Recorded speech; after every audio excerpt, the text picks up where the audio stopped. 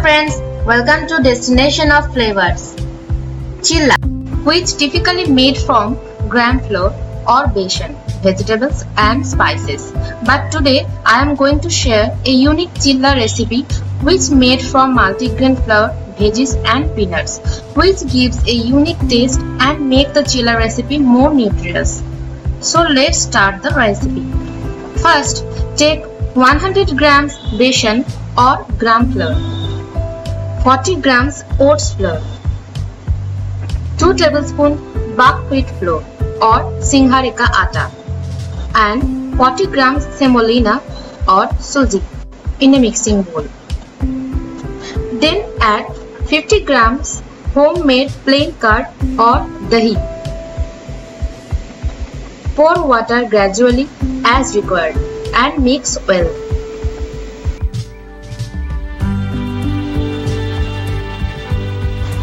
Keep aside and rest the batter for at least 30 minutes. After that, whisk the rested batter again. If the batter looks so thick, then add some water and mix. Overall, I used 1 cup water. Remember, the batter should not so runny or so thick. Batter should be smooth consistency. Now add salt to taste. Add 1 tablespoon grated carrots, 1 tablespoon grated beetroots, 1 tablespoon chopped curry leaves, 1 tablespoon chopped coriander leaves and chopped green chilies as per your taste. Mix together very well.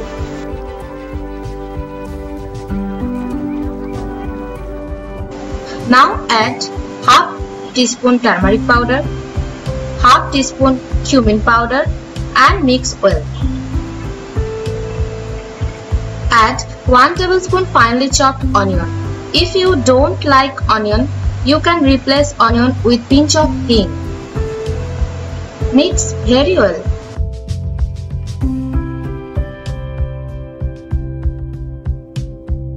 Now chilla batter is ready. Heat a non-stick tawa or a flat pan on a low flame. Sprinkle 1 teaspoon oil, then take ladleful of the batter and pour on the pan.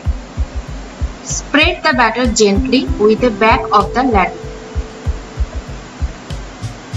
Sprinkle 1 teaspoon oil on the chilla at the edges and all around. Now sprinkle 1 tablespoon of roasted crushed peanuts on the top of the chilla and press gently so that peanut can stick with batter very well. Continue to cook till the base gets light golden. Flip and cook with lid the other side of chilla till you see golden spots on the chilla.